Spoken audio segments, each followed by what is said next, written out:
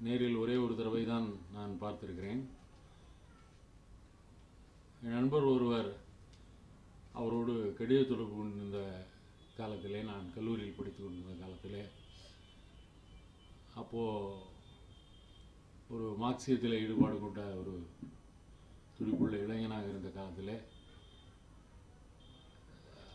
என் நண்பருக்கு வந்த ஒரு கடிதத்தை பிரமிழிடமிருந்து வந்த கடிதத்திற்கு நான் ஒரு குறுக்கிலே புகுந்து ஒரு ஏதோ ஒரு எதிர்வினை ஆற்ற அதற்கு ஒரு முப்பத்தி ஐந்து பக்கங்களுக்கு மேற்பட்ட ஒரு நீண்ட வசவு கடிதத்தை அவர் எழுதியது எனக்கு இன்னும் ஞாபகம் இருக்கு. பிரம்மலின் மீது படிக்கிற காலத்திலிருந்தே மிகுந்த ஒரு நெருக்கம் எனக்கு இருந்திருக்கிறது மனதளவிலே. நேரில் சந்தித்தறியாத சந்தித்தராத போதிலும் ஒரு ஒரே ஒரு ஒரே ஒரு தடவை ஏதோ ஒரு கருத்தரங்களை பார்த்திருக்கிறேன். மற்றபடி நேரிலே நெருங்கிய பரிச்சயம் இல்லாத போதிலும் கூட அவர் மீது ஒரு மாறாத மதிப்பும் வெறும் மரியாதையும் கொண்டிருந்தவன் கொண்டிருப்பவன் நான். எனவே நண்பர் காலசுப்ரமணியம் அவர்கள் இந்த நூல் தொகுதிகளை வெளியிட முன்வந்த போது முதல் பிரதி எனக்குத்தான் வேண்டும் என்று அவரிடம் கேட்டுக்கொண்டேன். அதன்படி அவர் அனுப்பி வைத்தார். அவரும் ஆர் ஆர் சீனிவாசன் மற்றும் காஞ்சனை நண்பர் நண்பர்களும் சேர்ந்து இந்த நடத்துகிற இந்த நூல் அறிமுக மற்றும் கருத்தரங்கினை கருத்தரங்கிலே பேச என்னை அழைத்ததற்கு முதலாவதாக இந்த அமைப்பாளர்களுக்கு என்னுடைய நன்றியை தெரிவித்துக் கொண்டு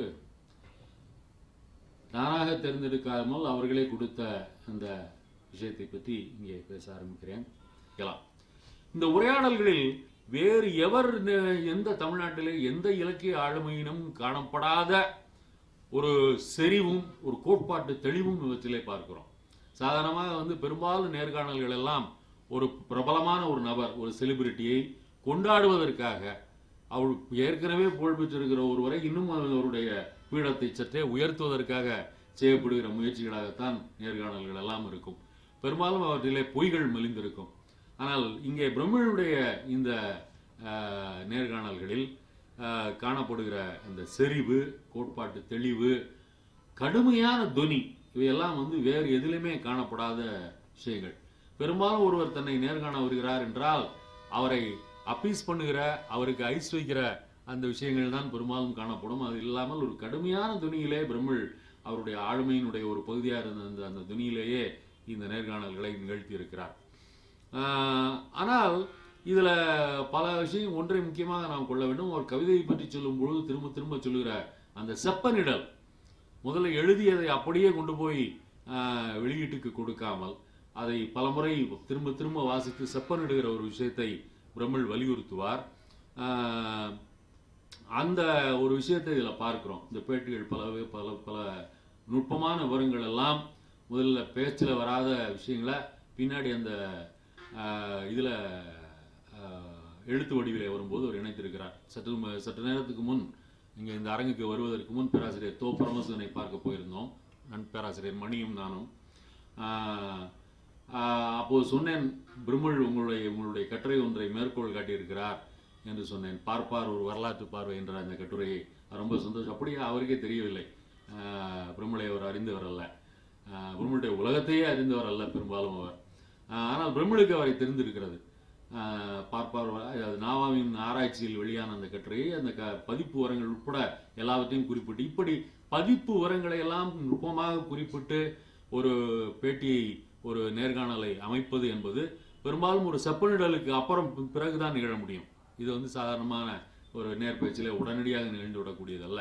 ஆனாலும் கூட இது இருந்தாலும் கூட பிரம்மனுடைய பல நேர்காணல்களில் உரையாடல்களில் முன்னுக்கு பின் முரணான பல விஷயங்கள் இருப்பது இருப்பதை பார்க்கலாம்.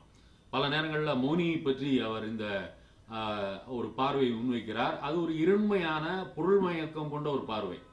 தனிப்பட்ட முறையிலே அவருடைய அவரிடம் பிராமணியம் இருந்தது. ஆனால் அவருடைய எழுத்து அதை தாண்டிய ஒரு உன்னத நிலையை அடைந்திருக்கிறது என்ற ஒரு விஷயத்தை அவர் பல நேரம் வலியுறுத்தியிருக்கிறார். சிசி செல்லப்பா ஒரு பழமைவாதி.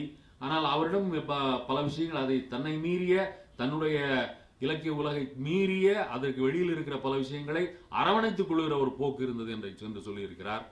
காந்தியை பற்றி பல நேரங்களில் அவர் ரொம்ப நேர்முறையாக நே- நேர்முகமாக சொல்லியிருக்கிறார். ஆனால் சில நேரங்களில் எதிர்மறையாகவும் பேசியிருக்கிறார். பெரியாரை இப்போ பல நேரங்களில் மிக அஹ், நே- நேர்முகமாக பேசியிருக்கிறார். சில நேரங்களில் எதிர்மறையாகவும் பேசியிருக்கிறார். இந்த மல்டிபிள் ஆம்பிகுவிட்டி இந்த ஒரு பன்முனை பன்முகப்பட்ட ஒரு பொருள் மயக்கம் என்பதனுடைய எழுத்துகளில் காணப்படுகிறது. இதை ஒன்று நீங்கள் ஆழமான ஆய்வுக்கு உட்படுத்தி கால போக்கிலே அவருடைய பார்வை மாறி இருக்கிறது என்று கண்டுபிடிக்கலாம்.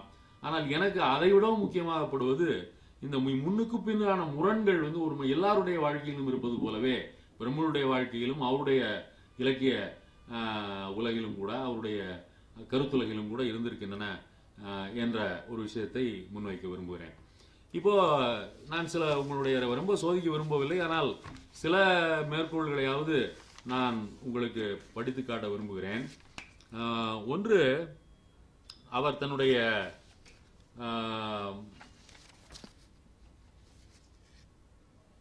இயல்பை தன்னுடைய உரையாடலுடைய இயல்பை பற்றி சொல்லும்போது என்ன பிர- பிரதி பிரதிரூப சம்வாதத்தை பற்றி ஏற்கனவே சொல்லிவிட்டேன். அவர் தன்னுடைய இந்த உரையாடல்களின் இயல்பு பற்றி சொல்லும்போது ஒன்று சொல்கிறார் அன்பு என்ற மகா நெறியில் உரியவனது உற- உறவுலக மதிப்பீடு. சம்பிரதாய நெறி தவிர வேறெதையும் அறியாத சமூகத்தின் கண்களுக்கு எப்படி கௌரவத்துக்கு உரியதாகும்? இந்த அளவையின்படி வள்ளலார் ராமலிங்கத்துக்கு கிடைத்த அவதூறே அவரது மகாநெறியை உலகுக்கு தெரிய வைத்துள்ளது. இந்த நெறியின் இன்னொரு பரிமாணம்தான் தமது சமகாலத்திய மதவியலின் குறுகல்களை அவர் சன்மார்க்க நெறி மூலம் தாக்கவும் செய்துள்ளது. நான் ஏற்கனவே சொன்ன அந்த அருட்பா மருட்பா விஷயத்தை இங்கே ஒரு இந்த அது ஒரு துணியாக இங்கே பிரமிழ் காட்டுகிறார். தன்னுடைய தன்னுடைய நே- பேச்சினுடைய இயல்பையும் தன்னுடைய உரையாடலினுடைய இயல்பையும் சுட்டிக்காட்டுவதற்கு இதை அவர் ஒரு சந்தர்ப்பமாக எடுத்துக்கொள்கிறார். அப்புறம் தன்னுடைய இந்த இயக்கத்திலே இந்த உரையாடல்களில் எவ்வித சமரசமின்மைக்கும் இடமில்லை என்பதை திட்டவட்டமாக கூறுகிறார். நானோ எதிரே இருப்பவன் எவனாயிருந்தாலும் அன்று எனக்கு அவனைத் தவிர உணவுக்கு வழி வேறு வழி இல்லை என்றிருந்தாலும் எனது அபிப்பிராயத்தை அவனுக்கு ஏற்றபடி அணுவளவும் மாற்றி பேசாதவன் என்பதை தெளிவாக அவர் சொல்கிறார். வந்து வெளிப்படையாக தன்னுடைய சமரசமின்மையை தெரிவித்து விடுகிறார். அதற்காக எதிரே இருப்பவனுடைய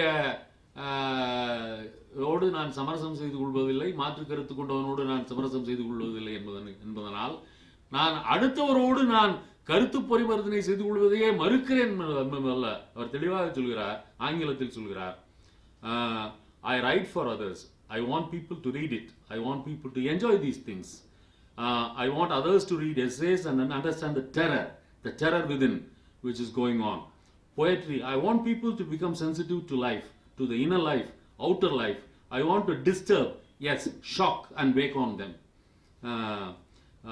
இப்படி வந்து சொல்றாரு. சொல்லிட்டு I want to communicate something to others இது தெளிவாக சொல்கிறார் பல நேரங்களில் பிரம்மனுடைய எழுத்துக்களில் காணப்படுகிற அந்த புரியாமை அல்லது அந்த இருண்மை பொருள் மயக்கம் எல்லாம் பற்றி பேசுகிறவர்கள் பல நேரங்களில் வேண்டுமென்றே அதை செய்கிறார் என்று கருதுகிறார்கள். அதற்கு மாறாக அவர் தெளிவாக சொல்கிறார் I want to communicate communicate something to others என்று. அடுத்ததாக அவருடைய கடுமையான துணி இருந்தாலும் கூட இந்த கடுமையான துணி இப்படி இருக்கிறது. வேறு யாருமே தமிழ்ல இவ்வளவு கடுமையான துணியிலே இந்த தன்னுடைய விமர்சன கட்டுரைகளையோ தன்னுடைய உரையாடல்களையோ அமைத்ததில்லை என்பதை பற்றி பேசும்போது அவர் சொல்லுகிறார் எனக்கு என்னவோ இல்லை இல்லை. முத முதலில் கருணை என்றால் என்ன? என்னுடைய கட்டுரைகளில் உருவாகிற கடுமையான துணி என்றால் என்ன? இந்த இரண்டுக்கும் என்ன சம்பந்தம்? இதை இப்படி கேட்கலாம். நீங்கள் கருணை உள்ளவரா? கருணை பற்றி ஏன் பேசுகிறீர்கள்? ஏன் கோபிக்கிறீர்கள்? இந்த மாதிரி கேட்கலாம். தீவிரமான ஆட்களிடம் காலங்காலமாக இப்படி கேட்பதும் மடக்க முயற்சிப்பதும் திரும்ப திரும்ப நடந்து கொண்டிருக்க கொண்டுதான் இருக்கிறது. கோபம் என்றால் சில்லறைத்தனமான சமாச்சாரம். தனது விருப்பு வெறுப்புகள் கடமைகள் உறவுகள் உரிமைகள் உடல் அபிப்பிராயம் அதிகாரம் என்பவை பாதிக்கப்படும் போது அவற்றை பாதுகாப்பதற்கு எழு- எழுகிற ஒரு விதமான டிஃபென்ஸ் தான் கோபம் என்று சொல்லலாம். இக்கோபம் எவருக்குமே வரக்கூடியது. மடத்தனமான விஷயங்களை வேண்டுமென்றே எவ்வளவு விளக்கியும் புரியாத பாவனையில் திரும்ப திரும்ப உளரும் ம- மனோபாவத்துடன் சிலர் பேசும்போது ஏற்கனவே சொன்ன விஷயத்தை நாம் திரும்பவும் வலியுறுத்தி தீவிரமாக சொல்லுகிறோம். அதை கோபம் என்று சொல்லி இவர் கோபிக்கிறார் என்று சொல்லி ஒதுக்க பார்க்கிறார்கள். இந்த பார்வை ஒரு பலவீனத்திலிருந்து பிறக்கிற ஒன்றே தவிர சரியான கணிப்பு என்று சொல்ல முடியாது. இது பற்றி இவ்வளவுதான் சொல்ல முடியும். அப்படிங்கிறார். இந்த விஷயங்களில் ரொம்ப முக்கியமாக நான் வந்து அவருடைய உரையாடலுடைய இயல்பு சமரசமில்லாத மனப்பான்மை அதை இந்த அதையும் மீறி அவர் பரிவர்த்தனை செய்து கொள்ள விரும்புகிறார் கருத்துக்களை பரிமாறிக்கொள்ள விரும்புகிறார் என்கிற விஷயம் அவருடைய கடுமையான துணியெல்லாம் சொல்ல பற்றியெல்லாம் சொன்னேன் தெளிவாக ஒரு இடத்திலே சொல்கிறார் அறிவியக்கம் என்பது வெளிப்படை உரையாடலாகும். ஓப்பன் டயலாக் அவரே சொல்கிற வார்த்தை ஓப்பன் டயலாக் மூடுகதவு கிசுகிசுப்பு அல்ல. தெளிவாக சொல்றாரு இது அறிவியக்கம் என்பது வெளிப்படை உரையாடலாகும். ஓப்பன் டயலாக் மூடுகதவு கிசுகிசுப்பு அல்ல. ஆஹ் இந்த ஆஹ் தமிழில் இன்று ஜாதியம் சம்பந்தமான பொட்டுக்கேடுகளை அம்பலப்படுத்துகிற சமூக தரிசன கண்ணோட்டம் எனது விமர்சனங்களில் எழுத்துகளில் இருக்கிற- இருக்கிறது. எனவே ஜாதியவாதிகள் ஜாதியத்தை பாதுகாக்கும் எடுபிடி குணம் கொண்டவர்கள் என்னை பகிஷ்கரிக்கிறார்கள் தூஷிக்கிறார்கள் என்று அவர் வந்து அதற்கான காரணத்தையும் முன்வைக்கிறார். அடுத்து எழுத்தையும் எழுத்தாளனையும் பற்றிய இந்த பார்வை இந்த பேட்டிகளில் இந்த நேர்காணல்களில் உரையாடல்களில் பெரிய அளவுக்கு இடம்பெற்றிருக்கிறது எழுத்து என்றால் என்ன? எழுத்தாளன் எப்படிப்பட்டவன் என்கிற அந்த விஷயம். அதுல முக்கியமா அவர் என்ன சொல்றாருன்னா உத்வேகம் என்ற ஒன்றை சொல்லுகிறார். அதாவது லட்சியபூர்வமாக தியாக உணர்வோடு இன்னும் குறிப்பிடத்தக்க உயர் நோக்கங்கள் பலவற்றின் கணிசமான டோஸ்களோடு உட்கார்ந்து எழுதியும் கூட உறுதி விலை கலைச்சத்து கூட இல்லாத ஆறு அறுதல் நார்களை வெளியிடுகிறவர்கள் இருக்கிறார்கள். மிக மட்டமான ஒரு தேவையை பூர்த்தி செய்ய உடனடியாக பணம் வேண்டும் என்ற நோக்கத்தோடு எழுதியே உலக இலக்கிய சிகரங்களை தந்தவர்கள் கூட இருக்க உள்ளனர். இதற்காக உயர்ந்த லட்சியம் உயர்ந்த எழுத்துக்கு முட்டுக்கட்டை என்றால் அது கீழ்த்தரங்கள் கௌரவம் சம்பாதிக்க எழுப்பும் சதிக்குரலாகவே முடியும் என்கிறார். உத்வேகம் என்ற ஒன்றை இவர் முக்கியமாக முன்வைக்கிறார். என்னை எழுத தூண்டுவது எது? உத்வேகம் ஏதோ ஒரு நொண்டிச்சாக்கை வைத்து அதன் மூலம் வெளிப்படுகிறது என்பதுதான் சரியான பார்வை. எனவே உத்வேகத்தின் உண்மையான காரணம் உத்வேகமே. எத்தகைய காரணமும் உத்வேகத்தை வரவழைத்து விடாது. மாறாக உத்வேகம் எத்தகைய காரணத்தையும் உயிர்ப்பித்து அதனுடைய வெளி வெளியிட்டு கொள்ளும். இந்த உத்வேக வேலைகளும் செயல்படும் தோரணைகளும் கூட ஆனந்தம். உத்வேகம் உத்வேகமும் எழுதுகிற மனித மனமும் யோகம் பெறுகிற வேளையின் அதிசயமான கடினமும் எதிர்பாராத தன்மையும் நம்மை வருந்தி வருந்தி பிரம்- பிரமி- பிரமிப்பு ஊட்டுவனவாகும். ஆஹ் சுத்தா சுத்தங்களை மீறிய உத்வேகத்திலே உணர்வு ஊக்கங்கள் புடம் போடப்பட்டு விடுகின்றன. இலக்கிய விழிப்பு உள்ள கண்ணிலே மண்ணை தூவும் பிரயோகங்களுள் ஒன்று இந்த உண்மை. உள்ளபடி நடந்ததை எழுதுவது வர்ணையோ தகவலோ சரித்திரமோ சுயசரிதமோ ஆகலாம். அந்த தன்மைகளை அடைவதற்கே அந்த வெளியீட்டுத் துறைகளான பத்திரிகையியல் சில சரித்திரையியல் சம்பந்தமான தேவைகளை எழுதப்பட்ட விவரங்களை பூ- விவரங்கள் பூர்த்தி செய்தாக வேண்டும். உண்மையில் நடந்தது என்பது கலைத்துறையை பொறுத்தவரை கலைத்தன்மையை பெறுவதற்கு லைசன்ஸை வழங்கிவிடாது. என்று சொல்லி உத்வேகம் உத்வேகம் என்பதுதான் வந்து எழுதுவதற்கு பின்னால் இருக்கக்கூடிய ஒரு முக்கியமான விஷயம் என்கிற இதை முன்வைக்கிறார். அடுத்து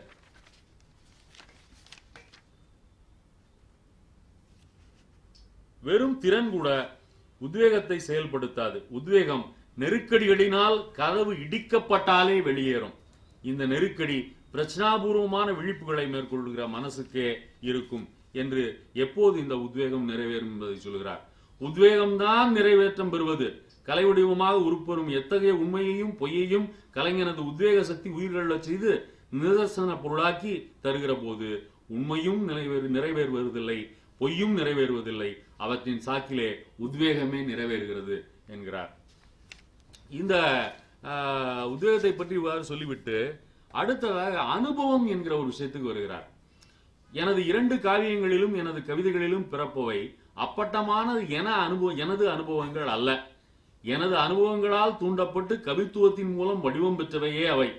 சுய அனுபவத்தை அப்படியே ரெக்கார்ட் செய்து செய்வது என்பதும் சரி சுய அனுபவத்துடன் சம்பந்தமே இல்லாததும் சரி இரண்டுமே கலா சிருஷ்டிக்கு ஊட்டமாகாது என்கிறார்.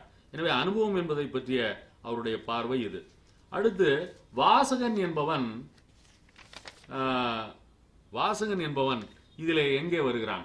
எழுத்தாளன் எழுதி விடுகிறான் எழுத்து என்ற படைப்பு இருக்கிறது வாசகன் எங்கே வருகிறான்? அதற்கு பிரமிழ் சொல்கிறார் நான் கருத்துலக போராட்டக்காரன். எனக்கு நீதி வழங்குகிற கோர்ட் கருத்துலகத்தை உரிய சுரணையுடன் அவதானிக்கிற தீவிர வாசகர்களாகவே இருக்க வேண்டும். அவர்கள் தரக்கூடிய தீர்ப்பின் வலு கோர்ட்டின் தீர்ப்பை விட ஆழமானது அப்படின்னு சொல்றார். எனவே ஒரு வாசகர்களை மறுதளிக்கிற ஒரு அவருடைய எழுத்தினுடைய அந்த செறிவும் சில நேரம் அந்த கடுமையான துணியும் வா- வாசகர்களை மறுதளிக்கிற அந்த விஷயங்கள் அல்ல. மாறாக வாசகர்களை உள்ளே இழுக்க எத்தனிக்கிற விஷயங்களே ஆகும். அடுத்ததாக அவர் படைப்பு மனநிலை பற்றி பேசுகிறார். படைப்பு மனநிலை பற்றி பேசும்போது நான் படைக்கிற போது எப்படி படைக்கிறேன்? என்று கேட்டால் படைக்கிற போது மனநிலை என்ன விதமாக இருக்கிறது? கவிதையை படிக்கிற கவிதை படிக்கிறவனுக்கு அது ஒரு விதமான ஆனந்தத்தை அல்லது எரிச்சலை உண்டாக்கும் அல்லது பிரமிப்பை உண்டாக்கலாம். நாம் இந்த பிரமிப்பையும் ஆனந்தத்தையும் நமக்கு சாதகமாக வைத்துக் கொண்டால் இந்த ஆனந்தம் இந்த பிரமிப்பு நிலை நீ எழுதும் போது உன்னிடம் இருக்கிறது என்று கேட்டால் இருக்கிறதா என்று கேட்டால் அப்படி இருக்காது. எழுதுகிற வேலை சில சமயம் கடமை சில வேளை அது ஒரு அரிப்பினுடைய வெளியீடு சில வேளை சில வேளை எரிச்சலில் கூட சில கவிதைகள் எழுதியிருக்கிறேன். அவை என்ன என்று சொல்ல வேண்டியதில்லை. ஆனால் அந்த எரிச்சலுக்கு அடியில் ஒரு விஷமம் இருக்கும். விஷமத்தனத்தோடு விஷமத்தனத்தோடு எழுதியிருப்பேன். ஆனால் அந்த சமயத்தில் நீ விஷமமா விஷமமாகவோ ஆழமாகவோ எரிச்சலாகவோ பிரமிப்படைந்தவனாகவோ இருக்கிறாயோ இருக்கிறாயா? அதுதான் உண்மை நிலையா? என்று கேட்டால் அது ரொம்ப சுவாரஸ்யமான விஷயம். அப்படி ஒன்றும் இல்லை. நாம் எழுதும்போது நாம் அந்த வேலையைத்தான் செய்கிறோம். நாம் ஒரு வேலையை செய்கிறோம் வார்த்தைகளோடு உறவாடுகிறோம் சரியான வார்த்தைகளை கொண்டு வர வேண்டும் சரியான விதமாக அந்த எக்ஸ்பிரஷன்ஸ் அந்த கட்டுமானம் எழும்ப வேண்டும் சரியா வரிகளை இடம் மாற்ற வேண்டும் திடீரென்று வருகிற வரிகளுக்கு சரியான இடங்களை கொடுக்க வேண்டும் இந்த திடீரென்று சுயமாக சுயாதீனமாக வரும் அல்லது எதிர்பாராத விதமாக வருகிற வரிகளுக்கு ஏற்ற விதமாக சில வரிகளை நாமே உருவ நாமாக உருவாக்க வேண்டும். இந்த மாதிரி பலவிதமான பிரச்சனைகள் எழுகிற போதுதான் பிரச்சனைகள் எழுதுகிற போது வரும். அந்த சமய சமயத்தில் இருக்கிற அந்த சமயத்தில் இருக்கிற மனநிலை அந்த டெக்னிக்ஸ் எழுதுகிற எழுதுகிற டெக்னிக்ஸோடு சேர்கிற உறவு நிலையாகத்தான் இருக்கும். ஆஹ், அப்படி என்று சொல்லி எப்படி இந்த படைப்பு மனநிலை என்பது செயல்படுகிறது ஆஹ், என்பதை பற்றி மிக விரிவாக பேசுகிறார். கடைசியாக எல்லாம் சொல்லிட்டு ஆஹ், கேள்வி கேட்கிறவரு நீங்கள் இது எப்படி உணர்கிறீர்கள் என்பதற்கு இதுவரைக்கும் நீங்கள் பதில் சொல்லவில்லை. அப்படின்னு ரொம்ப நீளமா இப்போ நான் கொஞ்சம் தான் சொல் வாசிச்சிருக்கேன். ரொம்ப விரிவாக பே- சொல்றாரு. கடைசியில் முடிச்சிடுறாரு. எனக்கு தெரியாது. என்னால் சொல்ல இயலாது என்று சொல்லி முடித்து விடுகிறார். இது வந்து கிட்டத்தட்ட பாரதி அந்த சூரியாஸ்தமன காட்சி பாஞ்சாலி சபதத்தில் வர்ணித்து விட்டு அந்த பாஞ்சாலி சபதத்தில் கவிதையாகவும் எழுதியிருப்பார். பின்னால் அடிக்குறிப்பிலே அதை ஒரு கட்டுரையாகவும் கொடுத்திருப்பார். அந்த அதை இப்போ முடிச்சுட்டு கடைசியில் போ போ என்னால் அதை வர்ணி வர்ணி வர்ணிக்கிறதெல்லாம் பக்கம் பக்கமாக வர்ணிச்சிச்சு. கடைசியில் போ போ என்னால் அதை வர்ணிக்க முடியாது என்று சொல்லி முடிப்பது போல் இந்த முத்தாய்ப்பான இந்த வார்த்தை இருக்கிறது. அடுத்து செப்பனிடல் பற்றி ஏற்கனவே சொல்லிவிட்டேன். எழுத்தாளனுடைய வெற்றி எதிலே அடங்கி இருக்கிறது என்ற ஒரு விஷயத்தை பற்றி அவர் பேசும்போது தன்னுடைய ஆத்மாவின் குரல் மூலம் மனித வர்க்கத்தின் ஆத்மாவை எல்லா காலங்களிலும் புதுமை குறையாமல் வெளியிடுவது தான் ஒரு இலக்கியவாதியினுடைய உண்மையான வெற்றி. என்று எழு தன்னுடைய எழுத்தை பற்றி ஒரு எழுத்தாளன் என்ற முறையிலே அவர் குறிப்பிடுகிறார். அடுத்து அவருடைய எழுத்து முழுக்க ஏற்கனவே பேசிய நண்பர் குறிப்பிட்டது போல ஆன்மீகத்தோடு நெருங்கி பின்னி பிணைந்தது என்பதை யாரும் மறுக்க முடியாது. அதுல அவர் தெளிவாக அவருடைய வகையான ஆன்மீகம் எப்படிப்பட்டது என்பதை பற்றி சில வார்த்தைகள் மிக தெளிவாக சொல்லிவிட விரும்புகிறேன். ஒன்று பார்க்க போனால் இந்திய ரீதியான உந்துதல் எதுவும் எனது ஆன்மீகத்தில் கிடையாது. இந்தியாவில் ஆன்மீகவாதம் ஜாதி திமிரை சமாதானப்படுத்தும் அம்சங்களுள் ஒன்று என்கிறார்.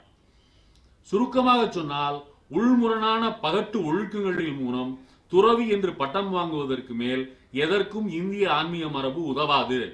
மனசின் குணங்களை தைரியமாக செயல்படவிட்டு அவற்றை விசாரிக்கும் முறை இந்த மரபுக்கும் இதன் பகட்டு லாபங்களுக்கும் அந்நியமானது. ஆஹ், மாயையை சங்கரர் வழிவந்த அத்வைத ஆஹ், தத்துவத்தில் உள்ள மாயை அவர் மறுக்கிறார். உலகம் மாயை என்ற கொள்கையினிடம் கிடையாது. சங்கருடைய மாயாவாதம் உலகம் ஒரு இல்யூஷன் இந்த இல்யூஷனிலிருந்து விடுபட்டு ஆத்மா பிரம்மத்தோடு ஐக்கியமாக வேண்டும் என்று சொல்கிறார். இது இது என்னை பொறுத்தவரை இது நான்சென்ஸ் நான் வாழ்க்கையை போற்றுகிறேன் இயற்கையை போற்றுகிறேன். என்று வந்து இந்த மாயாவாதத்தை அதுவும் குறிப்பாக ஆதிசங்கரருடைய அத்வைத வழியிலே வந்த மாயாவாதத்தை மறு மறுக்கிறார். அப்புறம் ரொம்ப முக்கியமாக பாலியல் என்பதை ரொம்ப யதார்த்தமான ஒரு தளத்தில் வைத்து பார்க்கிறார். உண்மையில் செக்ஸ் ரொம்பவும் சாதாரணமான விஷயம். ஒரு ஆன்மீகவியலாளன் செக்ஸின் உண்மையான ரகசியத்தை அறிந்து கொள்கிறான். செக்ஸ் என்பதன் மெய்நிலை அறிவு ஆன்மீகத்துக்கு மிக அவசியமானது. செக்ஸை மனப்பீடிப்புடன் பார்க்காமல் திறந்த மனத்தோடு நேரே சிந்திப்பதுதான் அதை என்னவென்று அறியும் ஒரே வழி. செக்ஸிலிருந்து விடுவது என்பது இதற்கு விடுபடுவது என்பது இதற்கு முரணான போக்கு. விடுபடும் நோக்குடன் அணியினால் அது மேலும் மேலும் மே- மேலும் மேலும் மனப்பீடிப்பாகவே மாறும். ஒரு விஷயத்தை கெட்டது என்று நினைத்து கொண்டதை அணுகினால் அது ஒரு மனப்பீடிப்பாகவே மேலும் உறுதியடையும் என்பதை பல இடங்களில் சொல்லிச் செல்கிறார். பிறகு துறவு என்றால் என்ன என்பதை பற்றி சொல்லும்போது சேகரம் பண்ணப்பட்ட ஞாபகங்கள் அதாவது பாசம் உறவு போன்றவை அனைத்தையும் துறவு துறப்பதுதான் முக்கியமே தவிர வீட்டை விட்டு ஓடுவது என்பது முக்கியமல்ல. வீட்டை விட்டு ஓடினாலும் ஞாபகங்களை துறக்காதவன் துறக்காதவன் துறவியாவதில்லை என்று சொல்கிற அதே மூச்சில் அவர் சொல்கிறார். துறவுகளை அனுசரிக்கிற விஷயமே பூசக மரபில் கிடையாது. இந்திய பூச பூசக மரபில் பிராமணியத்தில் அது கிடையாது என்கிறார். அடுத்து கேள்விகள் எப்படி இருக்க வேண்டும்? மத மத மதம் என்கிற களத்துக்குள்ளே தளத்துக்குள்ளே என்ன கேள்விகள் எப்படி எழுப்பப்பட வேண்டும் என்பதை பற்றி பேசும்போது நவீனத்தன்மை என்பது மனித மனிதாயம் வாய்ந்த சமூக கட்டுமானங்களை பொறுத்தது மட்டும் பொறுத்து மட்டும்தான் செல்லுபடியாக வேண்டும். இதை சொல்லி செல்- செல்லுபடியாக விடாமல் திரும்ப திரும்ப தலையெடுக்கின்றன இனவாதங்களும் ஜாதியும் மத மொழி வெறிகளும். இந்த வாதங்களை ஆன்மீகவாதங்களும் மனித சகோதரத்துவத்தை உபாசிக்கும் சமூகவியலாளர்களும் தான் எதிர்த்து வந்திருக்கிறார்கள். நான் ஆன்மீகம் என்று சொல்வதற்கும் பழமைவாதிகள் தங்கள் அதிகாரங்களை காபந்து பண்ண உச்சரிக்கும் ஆன்மீகத்துக்கும் சம்பந்தம் இல்லை ஆக புற உலகின் அனுபவங்களையும் கொள்கைகளையும் முடிவுகளையும் இடைவிடாமல் கேள்வி கண் கண் கொண்டு கண்ட கண்டபடி இருக்கும் விழிப்பு நிலைதான். இதை நான் திரும்பி சொல் திரும்ப சுவாசிக்க விரும்புகிறேன் ஆக புற உலகின் அனுபவங்களையும் கொள்கைகளையும் முடிவுகளையும் இடைவிடாமல் கேள்வி கண் கொண்டு கண்டபடி இருக்கும் விழிப்பு நிலைதான் நான் குறிப்பிடும் ஆன்மீகத்தின் ஊற்றுக்கண். இது கால வரையறை எதற்குள்ளும் தேங்க முடியாது. இதான் வந்து அவர் வந்து ஞான வந்து நம்முடைய சித்தர்களை எவ்வாறு இந்திய வைதிகம் உள்ளிழுத்து கொண்டது என்ற அந்த விஷய சித்தர்களுடைய அடித்தளத்திலிருந்து தான் ஞான மரபு தோன்றுகிறது. அந்த ஞான மரபை பிராமணியம் தன்னுடைய உள்ளிழுத்து கொண்டு தன்னுடைய சொந்த லாபங்களுக்காக பயன்படுத்துகிறது என்ற- என்ற- என்ற அவருடைய பார்வை இதிலிருந்து தான் வருகிறது. பதினெட்டு இதற்கு பிறகு ரொம்ப ஒரு முக்கியமான ஒரு விஷயத்தை அவர் சொல்கிறார். ஆஹ், மார்க்சியத்திற்கு அடிப்படையான ஒரு மூலங்களில் ஒன்று உங்களுக்கு ஹேகலினுடைய தத்துவம் என்று தெரியும். ஆஹ், ஹேகலினுடைய இயங்கியல் அவருடைய டயலெக்டிக்ஸ் பற்றி அவர் பேசும்போது ஹேகல் ஹேகலின் இயங்கியல் காலத்தின் களத்தில் காலத்தை சார்ந்து இயங்கும் எதிர்வினைகளின் கட்டுமான தொடர்களில் இருந்து சிந்திக்கப்பட்ட பெறுபேறு ஆன்மீகம் எதிர்வினை இயக்கம் கான்ஃப்ளிக்ட் என்ற நிலையற்ற கருணை ஒன்றை ஒன்று முரணாக காணாமல் ஒரே விதமாக பார்க்கும் அபேத திருஷ்டி. எதையும் நிறைவேற்றவோ எதிர்பார்க்கவோ முனையாத விதத்தில் நிகழ்கணத்திலேயே பிரஜையை நிறுத்தும் விழிப்பு நிலை ஆகியவற்றை ஆதரிசிப்பது உங்களுக்கு தெரியும் ஹெகல்ட்ட தீசிஸ் ஆன்டிதீசிஸ் சிந்தசிஸ் என்ற அந்த மூணு நிலைகளில் தான் வரலாறு என்ற அந்த பெரும்போக்கு நிகழ்கிறது என்ற. ஹேகல் ஹெகல் இருந்து தான் மார்க்ஸ் அதை அப்படியே வாங்கி தலைகளாக நின்று கொண்ட ஹெகலை நான் வந்து நேரம் நிமித்தி நிப்பாட்டினேன் அப்படின்னு மார்க்ஸ் சொல்கிறாரு ஆனால் அப்படியே ஹெகலினுடைய ஹெகல் வந்து அப்சல்யூட் ஐடியான்னு கடவுளை கடவுள்னு சொல்லலை அப்சல்யூட் ஐடியான்னு சொன்னார். அதை தான் மார்க்ஸ் வந்து வரலாற்று பொருள் முதல் மாதமாக மாற்றுகிறார். அந்த எங்கியலை எடுத்துக்கொண்டு தான் மாற்றுகிறார் என்பது மார்க்சியத்தினுடைய அரிச்சுவடி. அந்த வி- அந்த தளத்திலே போய் இவர் ஹேகலை மறுக்கிறார். அடுத்து சூஃபிகளை பற்றி ரொம்ப விதந்து பேசுகிறார். இஸ்லாமிய ஞானிகளான சூஃபிகளை பற்றி விதந்து பேசுகிறார். ஒரு இடத்துல வள்ளலாரை கூட சூஃபி என்று அவர் குறிப்பிடுகிறார். அடுத்து விமர்சனம் என்கிற ஒரு விஷயம் வரும்போது அந்த விமர்சனத்திற்கு எதிர்வினையாற்றாமல் மௌனமாக இருப்பது தவறு என்கிறார். ஏனென்றால் எந்த சமூக விமர்ச விமர்சன பிரச்சனையிலும் வெளிக்காட்டும் குரல் தான் வெளிக்காட்டப்படும் குரல்தான் பலம் வாய்ந்தது. உண்மைக்கு ஆதரவானவன் மௌனமாக இருப்பது உண்மைக்கு பலமாகாது துரோகமாகும். இது சமூக விமர்சன துறைகளில் நாம் காண வந்துள்ள விஷயம். ஆனால் ஆத்மீக துறையில் ரமண மகரிஷி போன்றோரின் மௌனம் சமூக விமர்சன அரசியல் பிரச்சனைகள் யாவற்றையும் கடந்த நிலையில் உள்ள சைலன்ஸ் இன் இட் செல்ஃப் ஆகும் என்று இரண்டு விதமான விஷயங்களை குறிப்பிடுகிறார் அடுத்து இந்த ஆன்மீக அக்கறையிலிருந்து தான் தன்னுடைய அஹ், இலக்கிய நாட்டமும் உருவாகிறது என்பதை இலக்கிய அக்கறையும் ஈடுபாடும் உருவாகிறது என்பதை தெளிவாக சொல்கிறார். எனக்கெனவோ எனது ஆத்மீக அக்கறைக்கும் இலக்கிய ஈடுபாட்டுக்கும் இடையே ஒரு இன்டராக்ஷன் நடந்து கொண்டே இருந்தது என்று தான் சொல்ல தோன்றுகிறது என்று வெளிப்படையாகவே தன்னுடைய ஆன்மீக அக்கறையையும் தன்னுடைய இலக்கிய ஈடுபாட்டையும் தொடர்புபடுத்தி காட்டுகிறார். அடுத்து சமூக மாற்றத்திற்கு எழுத்து எந்த வகையிலே பயன்படும் பயன்படாது என்பதை பற்றி அவருடைய பார்வை ரொம்ப முக்கியமானது. சுதந்திரம் அக உலகத்து சரக்கு. தெளிவாக சொல்றார். சுதந்திரம் என்பது அக உலகத்து சரக்கு. ஒருவருக்கொருவர் சரியான விதத்தில் மனித ரீதியான உறவு கொண்டிருப்பதே சுதந்திரமான புற உலகமாகும் இதுதான் தீர்வு. தீர்வு தனக்குள்ளே தான் இருக்கிறது. வெளி உலகத்தை மாற்றி தனக்குள் இருக்கிற பிரச்சனையை நீங்கள் எந்த விதத்திலும் மாற்றிவிட முடியாது. வெளி உலகத்தில் பதில் கிடையவே கிடையாது. எந்த பிரச்சனைக்கும் பதில் கிடையாது என்பதை தெளிவாக சொல்லிவிடுகிறார். மத சார்பின்மை செக்குலரிசம் பற்றியும் பேசுகிறார். இந்திய மேலை நாடுகளில் நவீனத்துவத்தினுடைய அடிப்படை அம்சங்களில் ஒன்றாக அதனுடைய அடிப்படை கூறுகளில் ஒன்றாக இருந்தது செக்குலரிசம் மதச்சார்பின்மை. நவீன அறிவியலின் வளர்ச்சியும் ஒரு புற ஒரு புறத்தில் நவீன அறிவியலினுடைய வளர்ச்சியும் இன்னொரு புறத்திலே மதத்தை நிராகரிக்கிற மதச்சார்பின் தான் நவீனத்துவத்துக்கு அறிவொளி இயக்கத்துக்கும் அதனுடைய வழிவந்த நவீனத்துக்கும் வழிகோலின என்பது எல்லாருக்கும் தெரியும். இந்தியாவில் புத்தர் செயல்பட்ட காலமும் அவரது கருத்துக்கள் உணரப்பட்ட காலமும் தவிர மற்றைய காலங்களில் குருட்டு நம்பிக்கைகளே ஆதரவு பெற்று வந்திருக்கின்றன. கருத்துக்களை விட நம்பிக்கைகளே போஷிக்கப்பட்டிருக்கின்றன. இந்த பாரம்பரியத்தின் தொடர்ச்சிதான் இன்றைய இந்தியாவிலும் இருக்கிறது. மேல் நாடுகளில் மதச்சார்பற்ற செக்குலர் சிந்தனை பாரம்பரியம் தொடர்ந்து இருக்கிறது. அதன் உச்ச உச்சகட்ட நிலை மேல்நாட்டு விஞ்ஞானம்.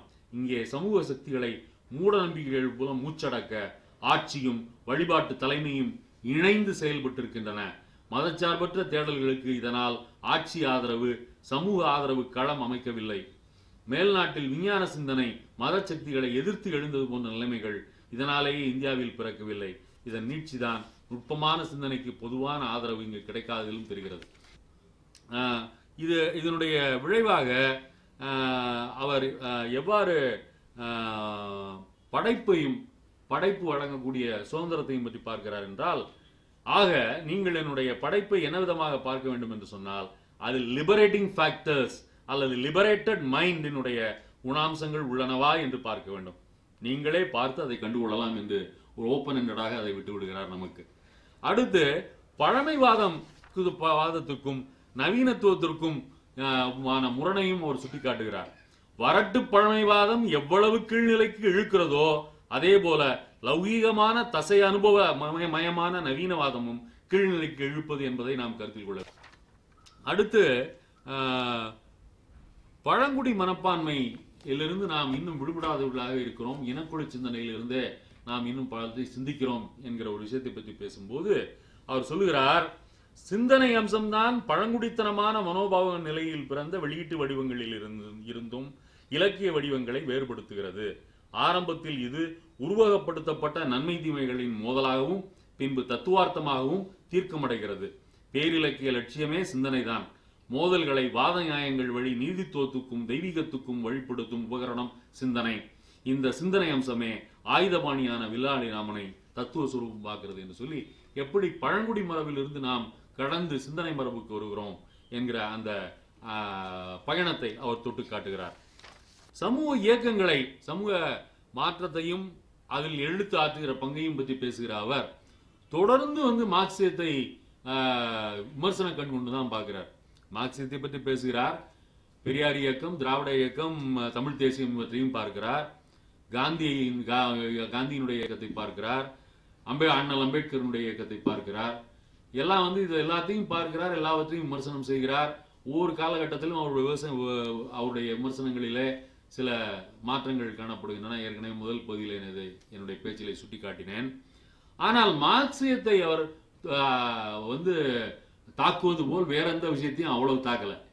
மார்க்சியத்தை தான் கன்சிஸ்டண்டா ரொம்ப தொடர்ந்து ஆரம்பத்திலிருந்து கடைசி வரை அவர் விமர்சிக்கிறார். அதுவும் குறிப்பாக கட்சியாக கட்டி தட்டி போன மார்க்சியத்தை அவர் வந்து கடுமையாக கட்சியம் என்ற புதிய ஒரு சொல்லாட்சியின் மூலமாக விமர்சிக்கிறார். ஆனால் வந்து பாசிட்டிவாக பார்க்குற சில கணங்களும் உண்டு. உதாரணமாக ஷேக்வேரா பற்றி பேசும்போது ஷேக்வேராவை ரொம்ப உதர்ந்து பேசுகிற அந்த பகுதி பகுதி அவருடைய அந்த நேர்காணல்களில் ரொம்ப முக்கியமான ஒரு பகுதி.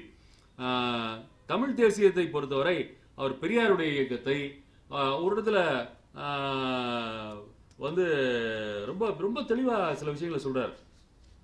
இதை வாசிக்கிறேன். அற்புதங்கள் இருக்கு. முதலாவதாக திராவிட இயக்கத்தவர் பாமரர்களை பார்ப்பனியர்கள் ஏய்த்து சுரண்டும் தளத்தில் போராடியவர்கள். இன்றைய காலகட்டத்தில் பார்ப்பனியத்தின் மார்க்கெட் தான் அவர்களது செருப்படிக்கு இலக்காயிற்று. சமூகத்தின் சமகால ஏற்றத்தாழ்வை தமிழகத்து பெரும்பான்மை மக்கள் புரிந்து கொள்ளத்தக்க தோரணையில் அவர்கள் வெளிக்கொணர்ந்து காட்டினார்கள். மார்க்சிய கம்யூனிச சித்தாந்தம் இதை பொருளாதார சமூகவியல் விமர்சனமாக செய்து கொண்டிருந்தது. இது பாமரர்களுக்கு எட்டாத அரசியல். பண்டித எல்லைக்குள்ளேயே முடங்கிவிட்டது. காந்தியத்தின் மனிதாய மனித மனிதாயப்பட்ட பழமைகள் பார்ப்பனிய பேர பேரினவாதிகளால் தங்களுடைய மார்க்கெட்டுக்கு திருப்பப்பட்டன. இந்நிலையில் சுயமரியாதை இயக்கம் திராவிட இயக்கம் ஆகியவை தோன்றி பார்ப்பனியத்தின் பஞ்சகஜக்கட்டை உருவி அம்பலப்படுத்தலாயிற்று. இதை செய்யும் போது பார்ப்பனியர்களுடைய முத்திரை பொறித்த எல்லாவற்றையுமே இவர்கள் சாடினார்கள். இருந்தும் ஞானார்த்தத்தை இவர்கள் சாடியதில்லை. ஈவே ராமசாமியின் உரைகள் எழுத்துகள் உள்ள நூல்களில் ஞானிக்கும் சித்தனுக்கும் கோவில் வழிபாடு வேண்டியிராததை அவர் குறிப்பிடுகிறார். ஈவேரா இன்றைய நவீன சரித்திர கட்டத்தின் மகா ஞானியான ஜெயகிருஷ்ணமூர்த்தியை சந்தித்தவர். அத்வைதம் ஆத்மவாதம் பிரம்மவாதம் ஆகியவற்றையே நிராகரிப்பவர். புத்தர் பிரானின் அடிப்படை கொள்கையை மட்டும் ஏற்பவர். இதனால் அவரை தம்மவராக கண்டு பேச ஈவேரா போயிருக்கிறார். ஆனால் ஈவேராவின் வெறுப்புவாதமும் வன்முறையும் தம்மிடம் இல்லாததை ஜெயகிருஷ்ணமூர்த்தி சுட்டிக்காட்டி இவற்றின் மூலம் உண்மையான புரட்சியை சாதிக்க முடியாது என்றார். இது ஈவேராவை உருமாற்றி ஜெயகிருஷ்ணமூர்த்தி சித்தரித்து பதிவு செய்துள்ள ஹேட்டட் அண்ட் வயலன்ஸ் கட்டுரையில் உள்ளது.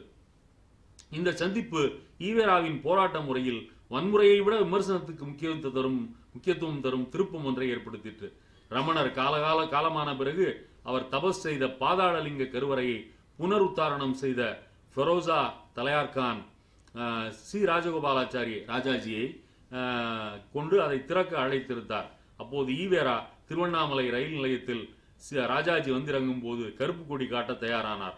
திருமதி தலையார்கான் ஈவேராவை சந்தித்து இதில் மதம் சம்பந்தப்படாததையும் மதங்களுக்கு அப்பாற்பட்ட ரமணரின் ஞானார்த்தமே விசேஷிக்கப்படுகிறது என்றும் விளக்கிய போது ஈவேரா தமது முடிவை அப்போது வாபஸ் பெற்றிருக்கிறார். இவை திராவிட இயக்கத்திற்கு பார்ப்பனிய மதவாதத்தின் மேலும் அதன் வர்ணாசிரம கொள்கை மேலும் தான் குறி என்பதை காட்டும் வெளிப்படை விஷயங்கள். ஞானார்த்தத்தை அவர்கள் தாக்கவில்லை. ஆனால் அதை தமது செயல்முறை அட்டணமைக்குள் உள்ளடக்கவும் இல்லை. செய்திருந்தால் தமிழியலின் மிக தொன்மையான ஞானார்த்த மரபுகளை பார்ப்பத்தின் பார்ப்பனியத்திலிருந்து தனிமைப்படுத்தி காட்டும் பணி நடந்திருக்கும். இப்போ பார்ப்பனியம் எப்படி வந்து எப்படி வந்து இதை பார்க்குது? திராவிட இயக்கத்தின்னு சொல்லும்போது பார்ப்பனிய எதிர்ப்பை வந்து ஹிட்லருடைய பாசிஸ்டோ பாசிஸ்டோடு நாசிசத்தோடு ஒப்பிட்டு இவர்கள் அதை காட்ட முயற்சி செய்தார்கள். அது அது ஒரு ரொம்ப சாதாரணமான ஒரு விஷயம். பாரதிதாசனும் பெரியாரும் சாப்பிட்டுட்டு பேசிட்டு இருக்கும்போது எப்படி ஒரு ஜோக் அடிச்சுட்டு பேசினாங்கன்ற ஒரு ஒரு விஷயத்த ஒரு ஒரு அனெக்டோட்டை சொல்லிட்டு ஹிட்லரிசத்தின் மூர்க்கம் ரத்தவெறி இனவெறி ஆகியவற்றை போன்ற எந்த அம்சமும் இல்லாத எளிமையை இந்த சித்தம் காட்டுகிறது. எனவே வந்து ஐரோப்பிய பாசிசத்துக்கும் தமிழ்நாட்டு திராவிட இயக்கத்துக்கும் எந்த சம்பந்தமும் இல்லைன்றத பல இடங்களில் இவர் வலியுறுத்துகிறார். ஆஹ், அப்புறம் கடைசியாக எப்படி வந்து இதிலிருந்து விடுபட முடியும் விடுபட விடுபட வேண்டும் என்பதை பற்றி பேசும்போது கலப்பு திருமணங்களின் மூலம் மட்டுமே ஜாதியம் சிதறடிக்கப்பட முடியும். இது வெளியே இருந்து திணிக்கப்பட முடியாத வகையான மனோதர்ம புரட்சியாகவே நிகழ முடியும். இதற்கார் இதற்கு ஏற்ற அறிவார்த்த சூழல் தான் இதனை விளைவிக்கும் என்று அவர் குறிப்பிடுகிறார். கடைசியாக ஜெயகாந்தன் தமிழவன் சா. கந்தசாமி இவர்களெல்லாம் சாகித்ய அகாடமியினுடைய தமிழ் ஆலோசனை குழு மொழிக்கான ஆலோசனை குழுவில் இருந்தபோது அண்ணாதுரையினுடைய எழுத்துக்களை கொண்டு வருவதற்கு கொண்டு வருவதற்கு இந்திய மொழிகளில் கொண்டு வருவதற்கு எதிர்ப்பு தெரிவித்ததை அந்த நேரத்திலே அவர் அதற்கு எதிர்வினையாற்றிய அந்த பகுதி ரொம்ப முக்கியம். ஆ? இலக்கிய வரிசையில மிக எளிதாக பொதுமக்களின் உள்ளத்தில் பயமற்ற பகுத்தறிவு பண்பை தூண்டும் சக்தி ஈவேரா அண்ணாதுரை எழுத்துகளில் உள்ளது. இது அகில இந்திய சொத்தாக மாறுவது அவசியம். இதற்கு அகாடமி பிரசுர வருது வரிசை ஓர் உபகரணமாகும் சொல்லி கடுமையாக அட்டாக் பண்றாரு அந்த தமிழ் மொழிக்கான ஆலோசனை குழுவில் இருந்த அந்த மூன்று பேரை. இது தவிர மற்ற சமூக இயக்கங்களான காந்தியை பற்றி பேசும்போது ஒரு ரொம்ப ஒரு பிரமாதமான ஒரு விஷயத்தை இன்றைக்கும் ரொம்ப ரிலவெண்ட்டாக இருக்கக்கூடிய ஒரு விஷயத்தை சொல்றாரு. இது மிகவும் எளிமையான சில்லறையான விஷயம். எந்த ஒரு இந்திய கிராமத்திலும் முக்கியமாக தமிழ்நாட்டு கிராமங்களில் இந்த பிரச்சனைக்கு இடமே கிடையாது. முஸ்லிம்களும் இந்துக்களும் ஒரே விதமாகத்தான் சிந்திக்கிறார்கள் வாழ்ந்து கொண்டிருக்கிறார்கள். இங்கே மேலோட்டமாக ஒரு லேசான வேறுபாடு இருக்கலாம். ஆழ்ந்த வேறுபாடு எதுவும் கிடையாது. எனக்கு குரு இல்லை. என் பழக்கத்திற்கு வாய்த்த பெரியவர்கள் எவருமே எவரும் எவருக்குமே குருவாக நடந்து கொண்டதும் இல்லை. இருந்தும் காதர் யூனுஸ் அப் அப்துல்லா பேடாவை குறித்து அந்த முஸ்லிம் என் குரு என்று சொல்லுவேன். இப்படி பார்த்தால் கூட இவர் முஸ்லிமும் அல்ல நான் இந்துவும் அல்ல என்ற மனோபாவம் கூட அவருக்கும் எனக்கும் உண்டு. காரணம் அடிப்படை அத்திவாரமாக செயல்படுகிற ஆத்மீக லெவலில் இந்து முஸ்லிம் என்ற வேறுபாட்டுக்கு இடமில்லை. பிசினஸ் லெவலில் இருந்து பார்த்தாலும் வெளிப்படையான வேறுபாடுகள் கிடையாது. எனவே சந்தர்ப்ப ரீதியாக சாமர்த்தியத்தை உயர்த்திக் கொள்கிற ஒரு அரசியல் தான் இங்கே அயோத்தியா அயோத்தி பிரச்சனையாக உருவெடுத்திருக்கிறதே தவிர இந்துத்துவம் முஸ்லிம் பிசினஸ் சமூக உறவுகள் ஆகியவற்றுக்கும் இப்பிரச்சனைக்கும் எவ்வித சம்பந்தமும் கிடையாது. அப்படின்னு சொல்லிட்டு ஆஹ், ஆஹ், இது இந்த சாதாரண மக்களுடைய வாழ்க்கையில இந்த பிரச்சனை இந்துத்துவம் எவ்வாறு இந்த பிரச்சனையை உருவாக்குகிறது? சாதாரண மக்களுடைய வாழ்க்கையில இது இல்லாத ஒரு இயல்பான ஒரு ஊடாட்டம் கொடுக்கல் வாங்கல்கள் பொதுத்தன்மைகள் எவ்வாறு செயல்படுகின்றன என்பதை பற்றி பேசுகிறார். அடுத்து காந்தியை பற்றி சொல்லுவ ஆஹ், வை வை- வைத்தியத்தை பற்றியும் பார்ப்பனியத்தை கடைசி பகுதிக்கு வந்துட்டேன். வைத்தியத்தை பற்றியும் பார்ப்பனியத்தையும் பற்றி பேசும்போது தான் நான் ஏற்கனவே சொன்னது போல ஆரம்பத்திலிருந்து கடைசி வரை புதுமைப்பித்தன் வந்து மணிக்கொடிக்குள்ள ஆஹ், குழுவில் செயல்பட்டு கொண்டிருந்த போது என்ன நடந்தது என்பதை பற்றி நாம் தெரிந்து கொள்வதற்கு ஆஹ், ரொம்ப நாள் காத்திருக்க வேண்டியிருந்தது. அவரை சுற்றி இருக்கிற பிராமணர்கள் நடுவில் எழுத்தாளர்களுக்கு நடுவில் அவர் இவர் இப்போ இவ்வாறு ஒரு பிராமணர் அல்லாத இவராக இருந்தார் என்பதை ரகுநாதன் எழுதுவதற்கு நீண்ட காலம் பிடித்தது. ஆனால் வந்து இவர் அந்த அந்த மாதிரியான ஒரு எழுத்து ஆஹ், ப- ம- குழுவினருடன் குழுவினருக்குள்ளே இருந்து கொண்டே அந்த விமர்சனத்தை தொடர்ந்து செய்து வந்திருக்கிறார். உள்ளே இருந்து கொண்டே ஒரு கிரிட்டிக்கல் இன்சைடராக ஒரு விமர்சனபூர்வமான கருத்துக்களை முன்வைக்கக்கூடிய ஒரு உள்ளே இருக்க இருந்து கொண்டே அதை முன்வைக்கக்கூடிய ஒருவராக இருந்திருக்கிறார். ஹிந்து வைதிகத்தை போஷித்த ஹிந்து வைதிகத்தை போஷித்தவற்றையே தமது பாரம்பரியம் என்று உயர்த்தி கூறுகிறவர்கள் பழந்தமிழ் இலக்கிய உலகை இதிலிருந்து பிரித்து இதில் என்ன இருக்கிறது என்று கேட்கிறார்கள். பாரதி போன்ற ஒருவர் இப்படி நமது தமது பாரம்பரியத்தை பிளவுபடுத்தி பார்க்கவில்லை. சங்க இலக்கியங்கள் பற்றிய தகவல் பாரதிக்கு கிடைக்காமல் இருந்த நிலையில் கூட அவன் தான் அறிய வந்திருந்த தமிழ் படைப்புகளை வியந்தவன்.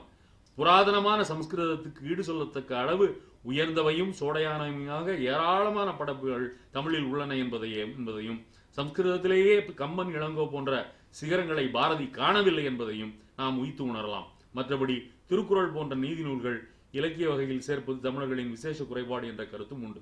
அப்படின்னு சொல்லிட்டு அவர் சொல்றாரு குரூரமும் வக்ரமும் மடமைகளும் மலிந்த ஒரு நாடோடி வாழ்வை பிரதிபலிக்கும் வேதங்களை மறைநூல்கள் என்று கொண்டாடும் சமஸ்கிருத மரபை விட இது கேவலமானதல்ல. அப்படி எப்படின்னு இன்னொன்னு சொல்றாரு. புராணங்களை சமஸ்கிருத மூலத்தில் படித்தவர்கள் அவை எவ்வளவு உயிரற்ற அல்லது இன்சிப்பிடான எழுத்துகள் என்பதை அறிந்து கூறியிருக்கிறார்கள். ஆஹ், அஹ், பழமலை கேட்கிறாரு அந்த கேள்வி பதில் பெ- பகுதி உரையாடல்ல. பிரமிழ் பார்ப்பன எதிர்ப்பான எதிர்ப்பிற்கான நியாயங்களாக எவ்வளவத்தை முன்னிறுத்துகிறார்? அப்ப பிரமிழ் சொல்றாரு திறனற்றவர்களும் தர்சன சக்தியற்றவர்களும் பிறப்பின் அடிப்படையில் தங்களை திறனாளிகளாகவும் தர்சிகளாகவும் கொள்ள உதவும் சமூக உணர்வே பார்ப்பனியம். அவருடைய தெளிவான ஒரு சிம்பிளா ரொம்ப சிம்பிளான டெபினிஷன் ரொம்ப பெரிய காம்ப்ளிகேட்டட் இதெல்லாம் ஒன்றும் கிடையாது. அதே போல தங்களை மனித வர்க்கத்திலிருந்து பிரித்து உயர வைத்துக் கொள்வதற்காக ஒரு வகுப்பில் ஒரு கட்சியில் ஒரு வர்க்கத்தில் தங்களை அஹ், தாங்களே பிரஜாபூர்வமாக ஈடுபடுத்திக் கொள்கிறவர்கள் தங்கள் மனிதத்துவத்தை குழு மனோ மனோபாவத்தை மனிதத்துவத்தை மனித தனித்துவத்தை மனித தனித்துவத்தை குழு மனோபாவத்துக்காக பலியிட்டு விட்டவர்கள். இதனை விவரபூர்வமாகவும் குறிப்பிட்ட எழுத்தாளரின் எழுத்துகளில் அடையாளம் காட்டியும் எழுத்துக்கு அப்பால் அவர்கள் கொண்டிருந்த மனோபாவங்களை நேர்ப்பழக்கத்தில் அறிந்ததை முன்வைத்தும் எழுதியிருக்கிறேன். இதனை நான் செய்திருப்பது போல தமிழில் வேறு எவரும் செய்ததில்லை. இவ்விதம் நான் எழுத முற்பட்ட போது எழுத்துக்களத்தில் இயங்கிய ஒரு கௌரவத்தன்மையை வேண்டுமென்றே துறந்திருக்கிறேன். நான் செஞ்சதுனால எனக்கு என்ன கிடைச்சதுன்றதையும் சொல்றாரு. சொல்லிட்டு அவர் சொல்றாரு ஜாதியம் மிகச்சிறந்த எழுத்தாளர் என்ற தகுதியை பெற்றுள்ளவர்களிடம் செயல்படுகிற போது அது அவர்களது அத்திவாரத்தை குளுரீதியான ட்ரைபல் மென்டாலிட்டி ஆக்குகிறது என்பதைத்தான் நான் சுட்டிக்காட்டுகிறேன் என்று சொல்கிறார். பூசக வர்க்கம் என்று நான் இப்போது சுய விளம்பரமாக சிலர் உபயோகிக்கும் வார்த்தையைத்தான் நான் இங்கே திரும்பச் சொல்கிறேன். இதில் உள்ளவர்கள் தங்களுக்குத்தான் அதிகாரம் இருக்கிறது. எதற்கு? ஞானத்தை அடைவதற்கு என்பார்கள். ஞானத்தை அடைவதற்கு எவருக்கும் அதிகாரம் இல்லை. ஆனால் ஞானத்தை அடைவதற்கு அத்திவாரமாக சில சாத்திரங்கள் சில நூல்கள் சில ஸ்மிருதிகள் ஆகியவற்றை கற்பதற்கும் குருவினிடம் போயிருந்து கேட்பதற்கும் தங்களுக்குத்தான் அதிகாரம் இருக்கிறது. ஆகவே அதிலிருந்து பிறக்கக்கூடிய ஞானத்துக்கும் தங்களுக்குத்தான் அதிகாரம் இருக்கிறது என்பதை சொல்லாமலே சொல்கிறார்கள். ஆனால் ஆத்ம ஞானத்தையும் காணும் ஒரு மண்ணையும் காணும். ஆஹ், ஆஹ், உச்சுக்குடுமியினால் உச்சிக்குடுமியினால் ஏற்படும் லௌகீக அதிகார லாபங்களுக்காக காலாதீதத்தையே கசாப்பு போடுகிறவர்கள் மனோ மனோவியாதியஸ்தர்கள். இவர்களது தாங்கள் எழுதுகிற மொழியின் மீதே துவேஷம் தாங்கள் பயில முடியாத மொழி தங்களுக்கு அத்துப்படி என்கிற பம்மாத்து. இந்த அடிமட்ட பாமர நிலையில் கூட பிறப்பின் அடிப்படையில் தாங்கள் ஒஸ்தி. நாம் தமிழர் அல்லர் என்கிற பிரம்மை. இதுதான் வந்து இதுதான் பார்ப்பனியம் என்கிறார். ஆஹ், அடுத்த ஹிட்லர் ஹிட்லர் பண்ண இதை ஏற்கனவே சொல்லிட்டேன் நான். அது வேண்டியதில்லை. தமிழர்களுடைய மதம் நாங்க கொடுத்த முதம் என்பதை விட தமிழர்களின் வழிபாட்டு நிலையங்களை பார்ப்பனர்கள் தந்திரமாக கைப்பற்றினர் என்பதைத்தான் ஏற்கலாம். இதை தோப்பேராசரை தோப்ப பரமசிவன்ட்டிருந்து பல பேர் வந்து எடுத்து காட்டியிருக்கிறார்கள். தொடர் இந்த இது. இந்த குணமே நிர்தாட்சணியமான அளவு முறையை ஏய்த்து தகுதியற்ற தகுதியை பெறும் குணம். அதன் பெயரே பார்ப்பனியம். அதாவது இங்கே பார்ப்பனியத்தை ஒரு குணமாகவே நான் காடுங்க காட்டுகிறேன் இனமாக அல்ல. தெளிவாக சொல்லிடுறார். நான் இங்கே பார்ப்பனியத்தை ஒரு குணமாகவே காட்டுகிறேன் இனமாக அல்ல. அப்படின்னு சொல்லிட்டு இது கடைசியில் சொல்கிறாரு பார்ப்பனியமோ மனிதத்தன்மையற்றது இது அது இன்றைய பாசிசத்தின் நேற்றைய வடிவம். கடைசியில் சொல்கிறாரு குணம்னு சொன்னேன்ல குணம்னு சொல்கிறாரு இல்லையா இனம் இல்லைன்னு. அதற்கு இந்த பார்ப்பனியத்துக்கு அடிவருடிகள் இருக்கிறார்கள். இத்தகைய அடிவருடிகள் இந்தியாவில் தொன்று தொட்டு இன்று வரை இருப்பதால் தான் பார்ப்பனியம் புதைக்கப்படாமல் அறிவுலகத்தை ரோக உலகாக்கி ரோகம்னா வியாதி. அறிவுலகத்தை ரோக உலகாக்கி நாரச் செய்து நாறிக்கொண்டிருக்கிறது என்று பார்ப்பனிய பார்ப்பன் பார்ப்பனர்களை மட்டும் குறை சொல்லாமல் பார்ப்பனியத்திற்கு அடிவருடித்தனம் செய்து கொண்டிருக்கிற அடிவருடிகளையும் அவர் இங்கே விமர்சனம் பார்த்தால் ஆஹ், மிகையில் பக்தியினை பற்றி கொஞ்சம் எனக்கு இதோடு ஒப்பிட்டு பார்க்கலாம் என்று தோன்றியது. நாவலை பற்றி தான் இப்போ பக்தின் பேசுகிறார் உங்களுக்கு எல்லாரும் தெரியும் தசேவஸ்கியினுடைய நாவல்களை பற்றி தான் அவர் பேசுகிறார். நாவல் வந்து எப்படி அடிப்படையில் ஒரு உரையாடல் தன்மை கொண்டது. டயலாஜிக்கானது டயலாஜிசம் என்ற வார்த்தை மூலமாக அதை குறிப்பிடலாம். எப்படி ஒரு உரையாடல் தன்மை கொண்டது? அல்ல ஒரு டயலாஜி சிட்டி என்றால் ஒரு உடையா உரையாடல் மு- தன்மை கொண்டது என்று அவர் குறிப்பிடும்போது அவர் நாவலில் உள்ள ஹெட்ரோக்ளோசியா பன்மொழி வேற்றுமை அல்லது பாலிஃபோனி பல்குரலியம் ஆகிற கருத்து கருத்துக்களை குறிப்பிடுகிறார். கடைசியாக ஒன்றை சொல்லி முடிக்க விரும்புகிறேன். நாவல் தான் பக்தியினுடைய இதில் வந்து டயலாகுக்கு உரையாடலுக்கு அடிப்படையான களமாக கொண்டிருந்த போது அவர் ஒன்றை சொல்லுகிறார். கவிதை என்பதை பொறுத்தவரையில் அது கவி கவிஞனுடைய தனிமொழி. அதில் டயலாகுக்கு ஏ- இடமில்லை என்கிறார். அதில் உரையாடலுக்கு இடமில்லை என்கிறார். நாவலில் இருப்பது போல் கவிதையிலே உரையாடலுக்கு இடமில்லை என்கிறார். இதை சில பேர் மறுத்திருக்கிறார் மறுத்திருக்கிறார்கள். கவிதையிலும் கூட இருக்க முடியும். ஆனால் எனக்கு என்னவோ அது ஒரு முக்கியமான வேறுபாடாக தெரிகிறது. நான் கவிஞன் கவிஞனுடைய க- குறிப்பாக நீண்ட காவியங்களாக இல்லாமல் சிறிய கவிதைகளாக இருக்கிற கவிதைகளிலே கவிஞனுடைய அந்த குரல் வந்து ஓங்கி ஒலிக்கிறது. அவனுடைய குரல் மற்றெல்லா அந்த க- கவிதைக்குள் இருக்கிற மற்றெல்லா குர- குரல்களையும் ஒரு விதத்திலே அழுத்தி தனக்குள்ளே உள்ளிழுத்து கொண்டு ஒரே குரலாக இயங்குகிற ஒரு குரலாக இருக்கிறது. இது வந்து வாய்மொழி இலக்கியத்திலிருந்து எழுத்து இலக்கியத்திற்கும் எழுத்து இலக்கியத்திலிருந்து அச்சேறுகிற இலக்கியத்திற்கும் வரும்போது அந்த நீண்ட வரலாற்று போக்கிலே இது மேலும் மேலும் செறிவும் இறுக்கமும் பெறுகிற நிலையை காணலாம்.